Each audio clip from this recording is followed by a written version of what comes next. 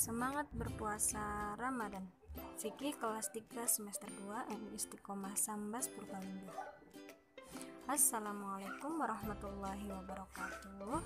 Bagaimana kabarnya anak-anak hari ini? Semoga senantiasa diberi kesehatan dan selalu dalam lindungan Allah Subhanahu wa taala. Sebelum pembelajaran dimulai, mari kita buka dengan membaca basmalah bersama. Bismillahirrahmanirrahim. Halo anak-anak semua, perkenalkan kembali nama Ibu Ida Rahmah. Anak-anak bisa memanggil dengan Ibu Rahmah. Alhamdulillah, Ibu mulai semester 2 ini diberi kesempatan untuk mengampu mata pelajaran fikih kelas 3 semester 2 mendampingi Bapak Maulana Hussein.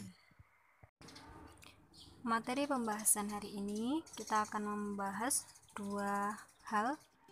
Yang pertama yaitu syarat wajib puasa.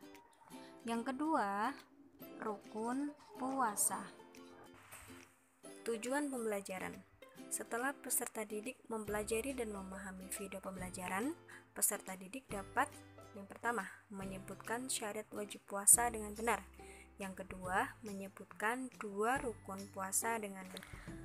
Materi yang pertama yaitu syarat wajib puasa. Syarat wajib puasa ada tiga. Yang pertama, berakal.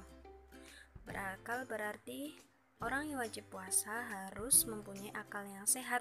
Orang gila tidak wajib puasa. Syarat wajib puasa yang kedua adalah balik. Balik berarti dewasa berarti anak-anak yang belum dewasa tidak wajib untuk berpuasa. Syarat wajib puasa yang ketiga adalah mampu.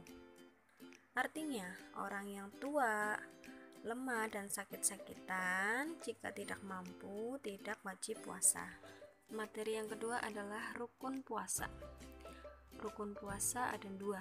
Yang pertama niat, kedua menahan diri. Yang pertama, niat. Niat dilafalkan pada malam hari dengan lafal sebagai berikut. Nawaitu soma khodin an adai faradi syahri ramadana hadihis sanati lillahi ta'ala. Artinya, aku niat puasa besok pagi untuk menunaikan kewajiban di bulan Ramadan tahun ini karena Allah Ta'ala. Rukun puasa yang kedua adalah menahan diri. Menahan diri dari terbitnya fajar hingga terbenamnya matahari. Menahan diri dari apa? Menahan diri dari haus dan lapar, menahan diri dari amarah, dan menahan diri dari sifat buruk lainnya. Untuk tugas hari ini, silakan anak-anak semua menulis materi yang ibu berikan di buku tulis kalian, oke? Okay?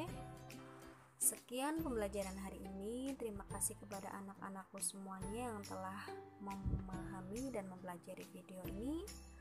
Tetap semangat, tetap jaga kesehatan.